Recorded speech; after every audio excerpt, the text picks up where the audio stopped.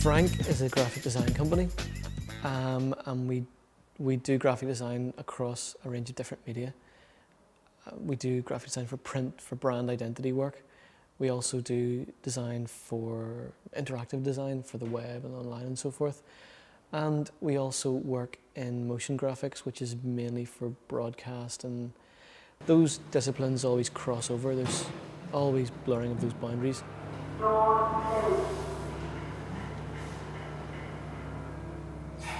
We're moving.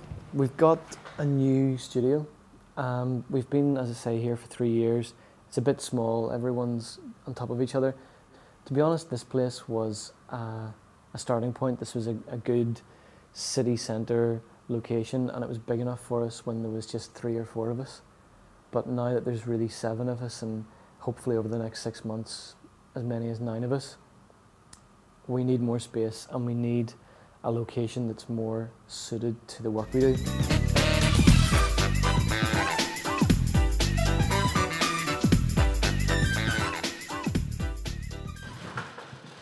The actual studio space itself has been designed to fit our needs. Um, it looks great. It's um, going to feel a lot more polished and professional and hopefully get across the fact that we can do more than just some music graphics and flyers for for for gigs. Hopefully appeal more to the clients that, that, that really have a bit more to spend and bigger ideas and bigger projects and more more interesting projects really. Frank is basically Damien Cranny's idea. He's the founder of the company. Um, he's my co-director. We decided to start Frank because, well, I suppose both Damien and myself were a bit tired of of, of working for other people and doing what we were told.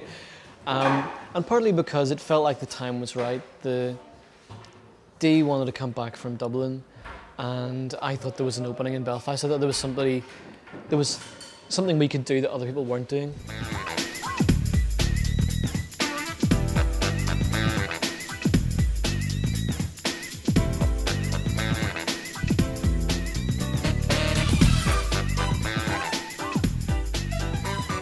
What really makes Frank different, I think, is our approach, first of all, which is a mixture of really good strategy and thinking and, and drilling down into what our client, whoever that happens to be, needs, um, and making a really good, writing a really good design brief, I suppose, ourselves on top of whatever the client's given us and then having the skills to apply that to whatever media they needed applied to really well.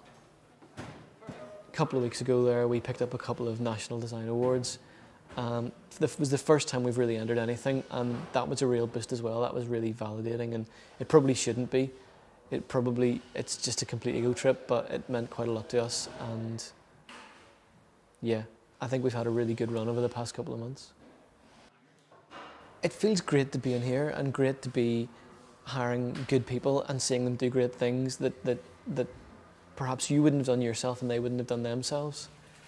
What we'd really like our, our employees to have is real enthusiasm and passion for design and for visual culture.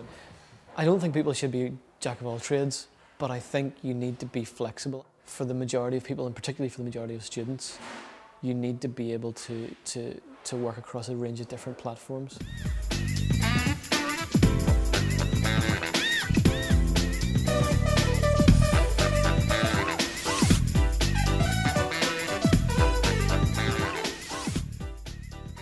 Feels like somewhere that we could be a bit inspired by and we could really do great things from.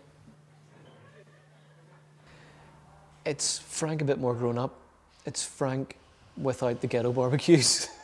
ghetto barbecues are great, but you've got to grow up, and now's the right time. And it was good fun, and Frank was right, and the way we were was right for the start. But now we're getting a bit more serious, and this is the reflection of that.